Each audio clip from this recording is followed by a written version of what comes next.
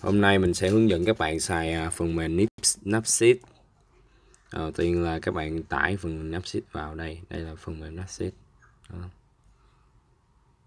Có chiếc lá màu xanh. Đây là nó đây là đều tiếng Việt hết nên cũng dễ xài lắm. Mở là chọn hình. Thì hiện tại mình đang có một cái hình này. À, các bạn không quan trọng cái việc mà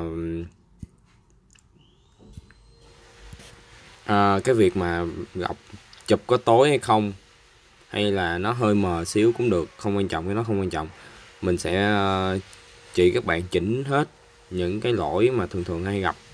Bạn các bạn chỉ cần cố gắng chụp làm sao để cho cái góc mặt của bé đẹp và uh, thấy được những những cái đường nét uh, cần thiết mà các bạn show cho cho mọi người thấy thứ nhất các bạn vô công cụ thì cái phần đầu tiên là phần chỉnh hình ảnh. Chỉnh hình ảnh thì nó có những cái mục. Thì để thao tác những cái này à, những thao tác à, của của của bên Napsit này chỉ có việc kéo lên hoặc là kéo qua kéo lại. Đó. Kéo trái qua phải hoặc phải qua trái để tăng giảm độ. Hoặc là chọn những mục thì kéo lên kéo xuống. Thì đầu tiên là chỉnh độ sáng thì ví dụ như bé này bị sáng thì các bạn là sẽ chỉnh độ sáng tăng sáng lên. Thì mục thứ hai là một độ tương phản. Độ tương phản thì sẽ cho thấy những những uh, phần tối phần sáng. Phần tối phần sáng sẽ uh, rõ hơn. Đây là độ tương phản.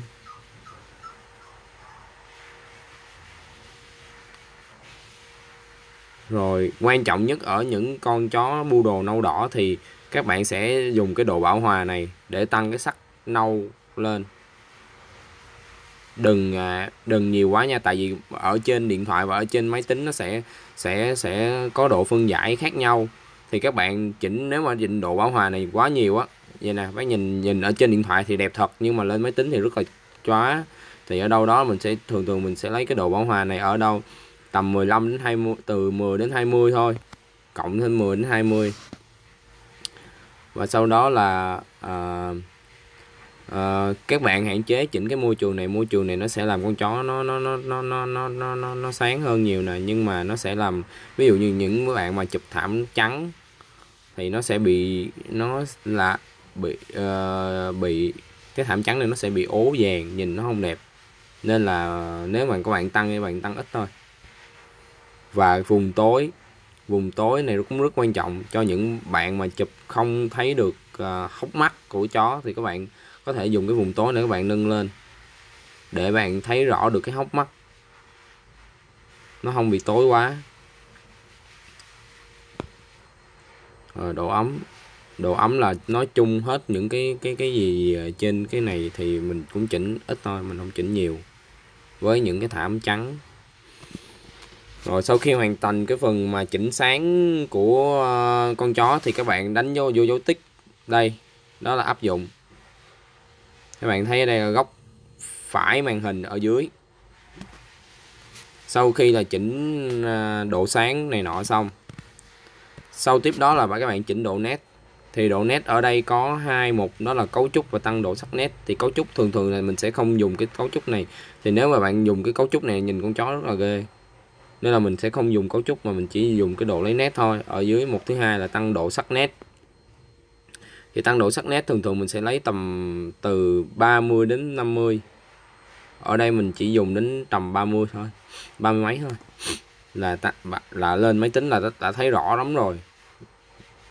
Nhiều hạt nhiều hạt ở đây lắm rồi. Nhiều hạt ở ở cái vùng à, cái vùng à, vùng đà lông nè là nhiều hạt lắm rồi. Nếu mà bạn tăng quá cao khi mà lên máy tính á bạn chỉnh bằng điện thoại mà lên máy tính nhìn cái này nó sẽ hạt, hạt, hạt nhiều nhìn xấu lắm. Nên mình thường mình chỉnh từ tầm ba mươi mấy đến năm mấy thôi. Nếu mà mờ quá thì mới chỉnh năm mươi mấy còn không thì thường mình chỉnh sẽ chỉnh ba mươi mấy. Rồi các bạn áp dụng ok. Rồi với những cái hình các bạn cái góc chụp các bạn bị xéo thì các bạn sẽ dùng cái cái xoay. Hoặc là chụp con chó nhìn lùn quá nó không có có độ hấp dẫn. Thì bây giờ mình sẽ dùng cái mình sẽ mình câu vô công cụ và mình sẽ chọn cái xoay này để mình chỉnh cho con chó nó nó ngay lại một xíu.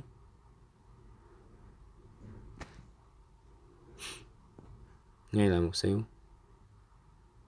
Để cho cái cái mắt của người người uh, nhìn nó cũng dễ thuận theo hơn. Sau đó bạn sẽ cái những cái phần dư thừa nào đó mà mà bị giải quyết không tốt thì các bạn sẽ dùng vô cái phần cắt. Cắt nè các bạn cắt đều hai bên. Cắt đều hai bên, cắt trên, cắt dưới để sau cho nhìn cái hình nó cưng. Các bạn canh làm sao? Các bạn canh có nghĩa là ngay cái mặt của của của bé nè. Đó. Sao cho nó cưng? Giữa hai lỗ tai, từ cái khoảng lỗ tai này ra đến cái bìa và đến lỗ tai này ra cái cái bìa này, thì cái hình nó sẽ cân hơn và tiếp đó là là mình sẽ dùng cái phối cảnh này là làm thử cho các bạn biết. Cái phối cảnh này thì đối với những cái bạn mà chụp ngay cái góc mà con chó nó bị lùn á thì các bạn có thể đẩy kéo lên trên để cho con chó nó cao hơn.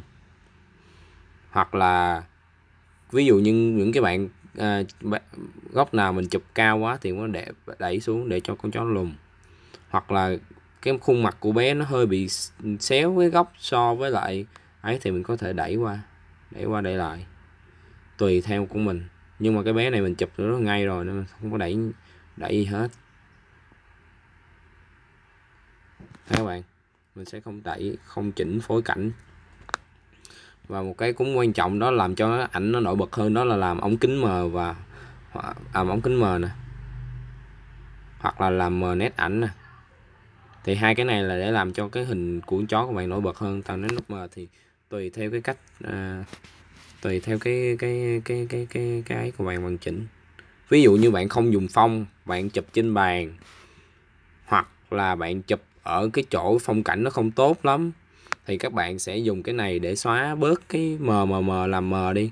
Thì ở đây nó có ba mục là cường độ mờ cái chuyển tiếp là cái chuyển tiếp giữa vòng vòng trong và vòng ngoài vòng trong, vòng ngoài, giữa cái khoảng cách này nó sẽ có sự chuyển tiếp, mờ, từ từ từ từ từ ra, càng ra ngoài thì càng mờ mờ nhiều hơn. Thì tùy vô mục đích của các bạn xài. Thì ở đây mình có chụp phong và chụp thảm. Nên là mình sẽ dùng cái này ít thôi, mình không dùng dùng nhiều.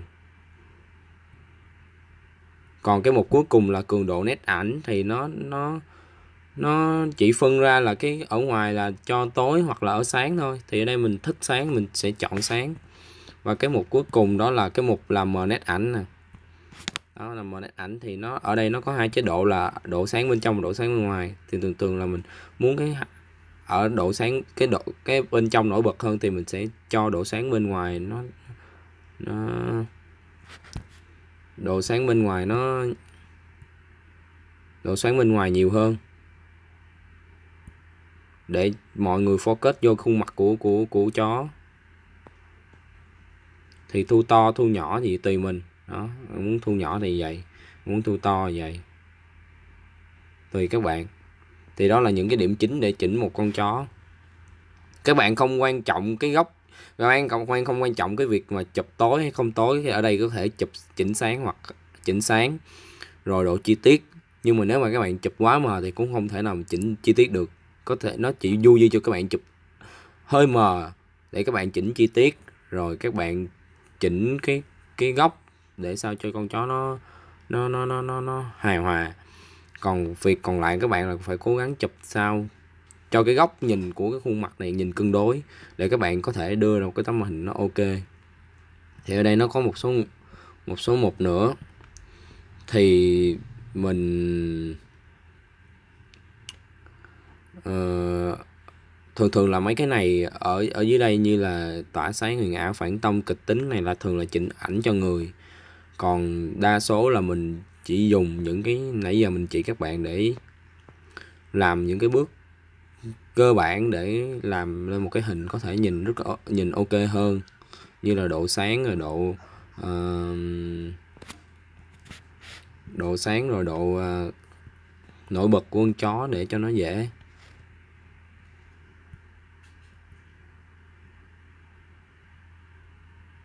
Cho nó cho nó nhìn bắt mắt hơn.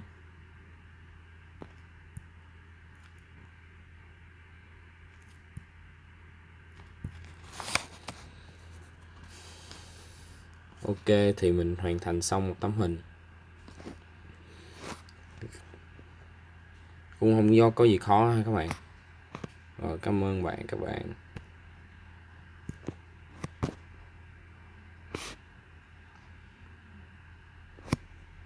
Đây.